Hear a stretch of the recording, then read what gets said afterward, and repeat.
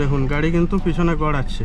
প্রিয় বন্ধুরা, আমি অভিষেক, আপনাদের সকলকে স্বাগত জানাই আমার ইউটিউব চ্যানেলে। বন্ধুরা, আমরা যখন নতুন নতুন গাড়ি চালানো শিখি, তখন কিন্তু আমাদের পাহাড়ের উপর দিয়ে বা কোনো স্লোপের উপর দিয়ে গাড়ি চালাতে গিয়ে অনেক সময় খুব অসুবিধে হয়। বিশেষ করে যখন স্লোপের উপর গাড়ি থামাতে হয় এবং সেই থামানো অবস্থায় যদি আমাদেরকে আবার গাড়ি চালু করতে হয়, তখন সব থেকে বড় সমস্যা হয়। কারণ বন্ধুরা, আমরা ডান পা দিয়ে হয় ব্রেক, না হয় অ্যাক্সিলারেটার এই দুটোর মধ্যে যে কোনো একটা অ্যাট এ টাইম কন্ট্রোল করতে পারি। তো এর আগে আমি একটা ভিডিও বার করেছিলাম, যেখানে আমি আপনাদের দেখিয়েছিলাম আমি কেমন করে হ্যান্ড ব্রেক ইউজ করে স্লোপের উপর থেকে গাড়ি স্টার্ট করছি। তো সেই ভিডিওটা যদি আপনি চান আই বাটনে গিয়ে দেখে আসতে পারেন। আজকে কিন্তু আমি একটা সম্পূর্ণ নতুন টেকনিক ইউজ করব। এটাকে বলে হিলটো টেকনিক হিলটোর মানে এই বোঝাতে চাইছি যে, ডান পায়ের টো দিয়ে যখন আমি ব্রেক প্রেস করে থাকব, সেই সময়ই ডান পায়ের হিল দিয়ে আমি কিন্তু অ্যাক্সেলারেটারটাকে পুশ করব। এই ব্যাপারটা শুরু শুরুতেই শেখা একটু টাফ প্রথমে আপনি নর্মাল যে গাড়ি চালানোর ব্যাপারগুলো আছে সেগুলো শিখে নেবেন, কিন্তু তারপরে একটু প্র্যাকটিস করলেই ব্যাপারটা ইজিলি আপনি করতে পারবেন। তো চলুন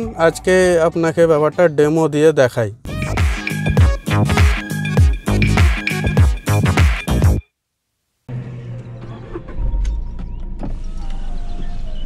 বন্ধুরা, আমি আজকে এই ফ্লাইওভারটা ব্যবহার করব।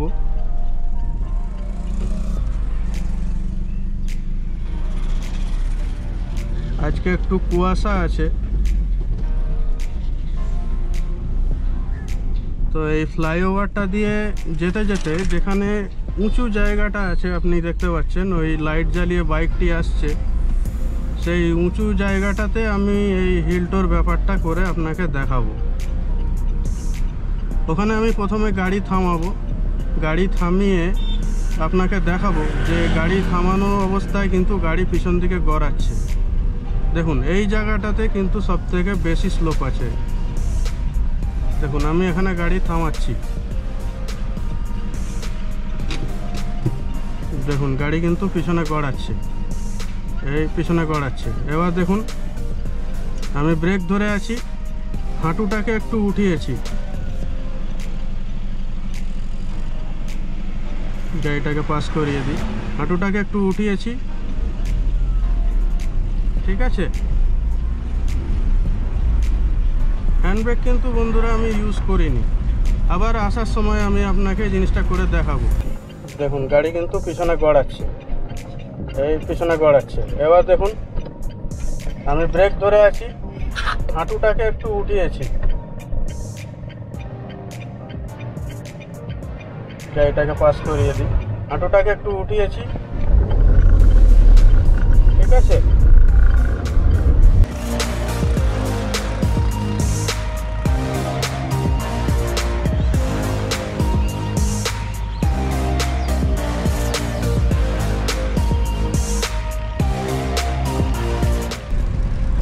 এখানে কিন্তু আমি ব্যাপারটা এমনভাবে প্র্যাকটিস করেছি যাতে আমার অ্যাক্সেলারেটারটা প্রেস করার সাথে সাথে ব্রেকটাও আমি সমানভাবে রিলিজ করতে পারি।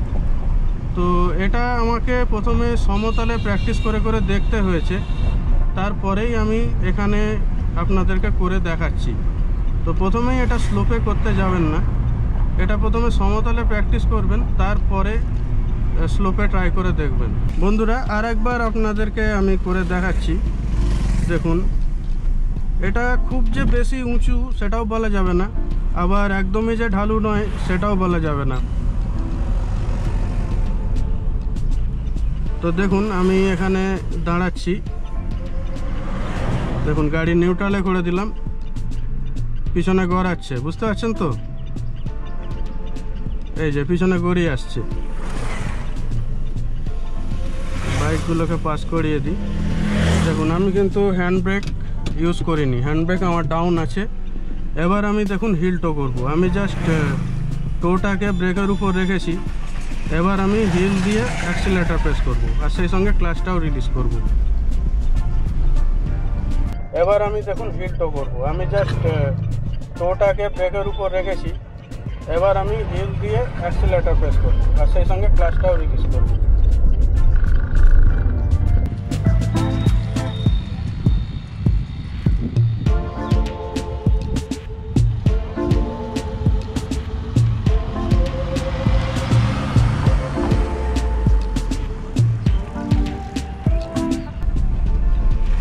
মোটামুটি এমনভাবে আপনাকে অ্যাক্সেলারেটার প্রেস করতে হবে যাতে দু হাজারের উপরে আরপিএম চলে আসতে পারে। এটা আমি পেট্রোল গাড়ির কথা বলছি। ডিজেল গাড়িতে আরপিএম হয়তো একটু কম হলেও অসুবিধে হবে না। কিন্তু পেট্রোল গাড়ি হলে আরপিএমটা আপনাকে দু হাজারের উপর আনতে হবে। তবেই আপনি এই হিল টোটা ঠিকঠাকভাবে করতে পারবেন। তো বন্ধুরা, আশা করি ভিডিওটা আপনাদের যথেষ্ট হেল্পফুল বলে মনে হয়েছে। যদি ভিডিওটা ভালো লেগে থাকে তো লাইক শেয়ার করতে কিন্তু একদম ভুলবেন না। আর চ্যানেলটিতে যদি প্রথমবার এসে থাকেন, তাহলে চ্যানেলটিকে কিন্তু অবশ্যই সাবস্ক্রাইব করে যাবেন।